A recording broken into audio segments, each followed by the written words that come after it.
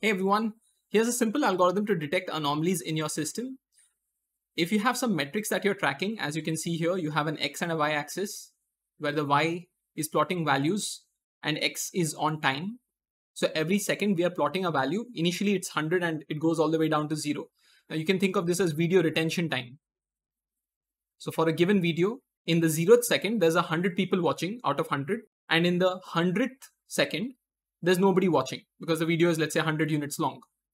Now, the challenge is how do you find interesting anomalous points on this video? Now, you can do this manually. You can look at instant number 84 and see that there's something odd over there.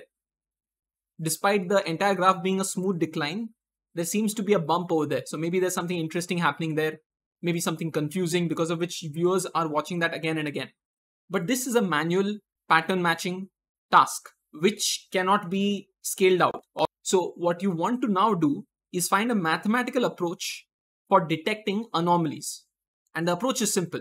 You want to find points where change is odd. Okay, well, the change is not smooth. It's a spike or a weird opposite direction change.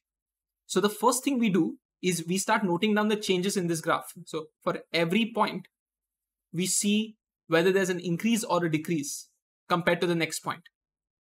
Now the entire graph is smooth and you're seeing that the slope is negative, which means if I take a dy by dx, if I differentiate this graph, if I try to find the rate of change in user retention, then I'll get something like this, which is roughly constant.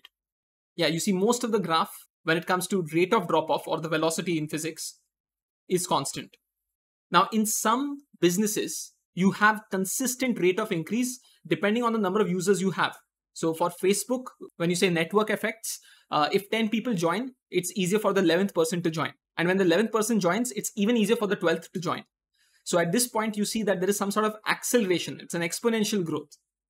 And this is common if you have some sort of social network or referral program, right?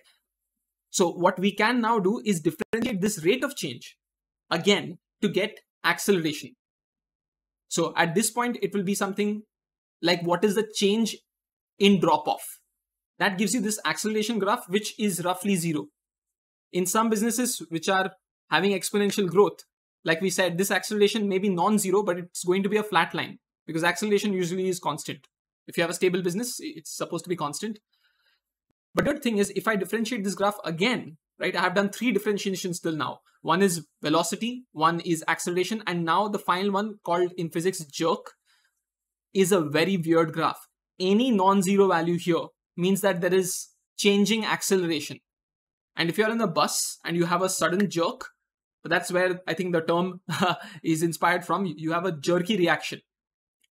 And so the non-zero values you see here correspond to anomalies.